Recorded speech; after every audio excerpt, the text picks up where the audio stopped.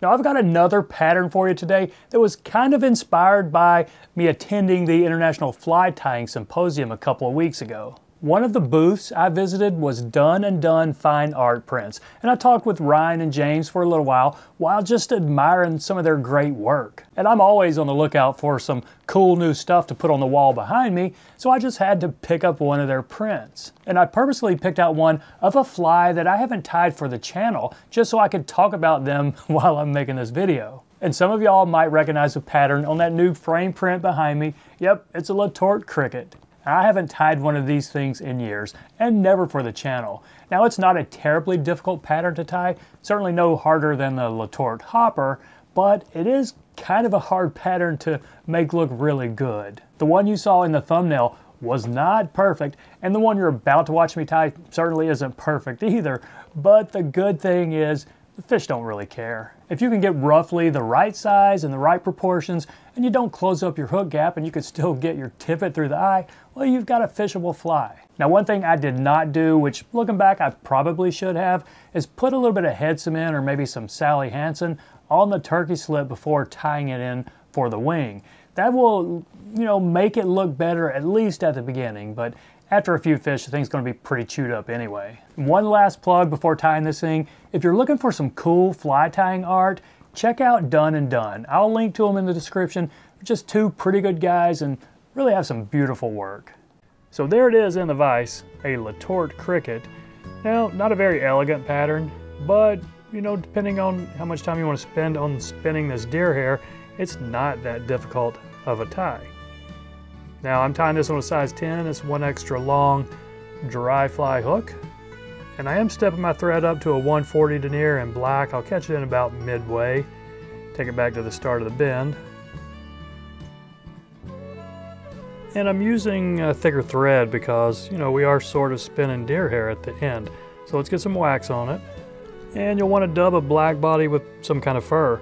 This is rabbit, but a synthetic would be just fine, whatever you want to use for floating dry flies.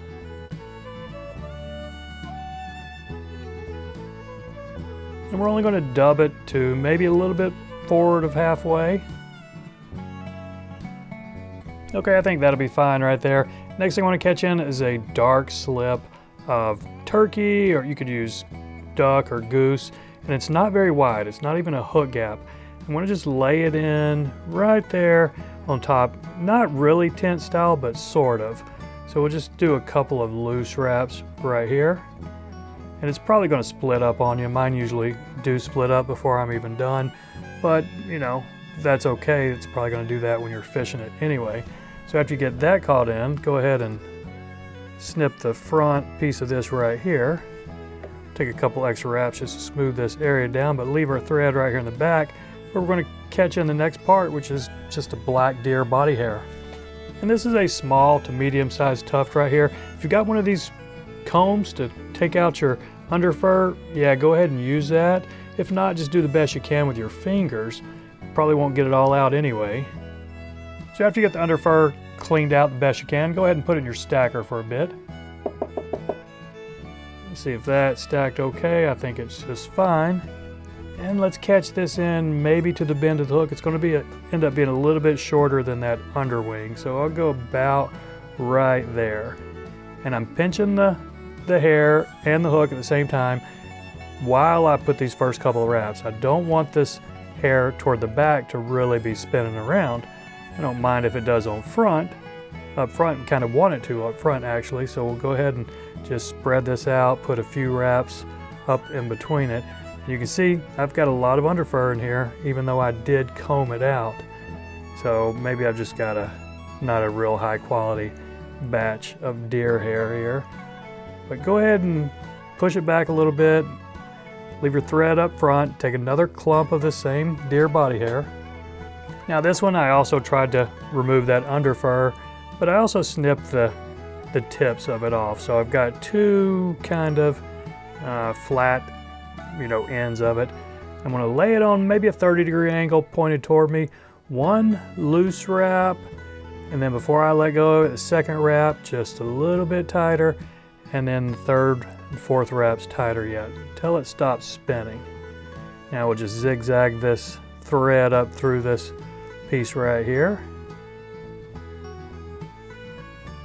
Now this is probably enough. Now if you've spun a lot of deer hair, you'll know that we could really pack this in right here and probably even spin another another clump of it. But I'm not gonna do that because you don't want a huge head on this thing, just enough to really give it the profile you want and then help with the floatability. So I'm just gonna push it back a little bit and go ahead and whip finish it.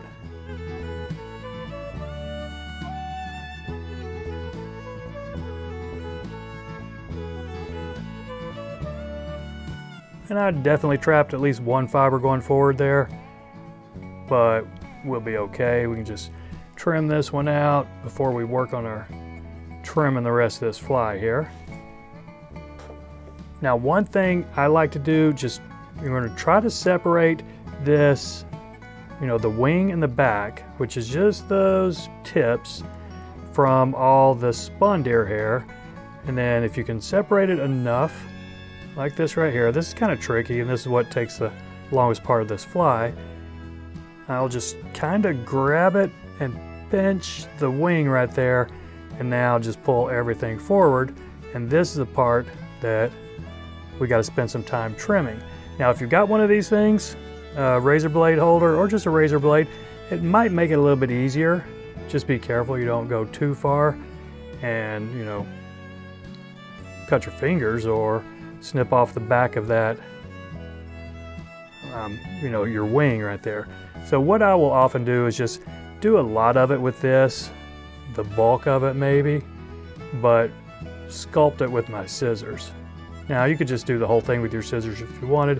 It might take just a little bit longer, but you do a lot of snipping and blowing right here until you can get the shape of the head you want.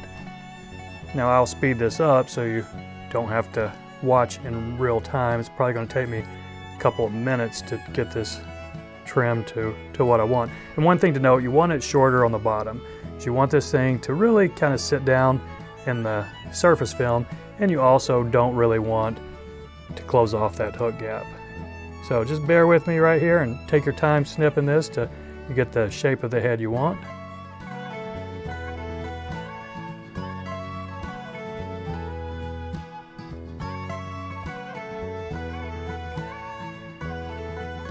All right, now here's one tip.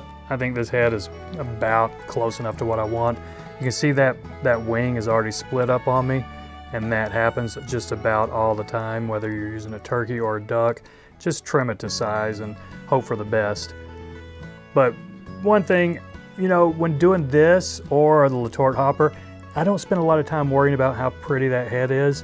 As long as I can get my tippet up through that eye and I think this thing's gonna float, you got a fishable fly. Now this one is a little shaggy, so I might spend a little bit more time just cleaning up this fuzz, this under fur.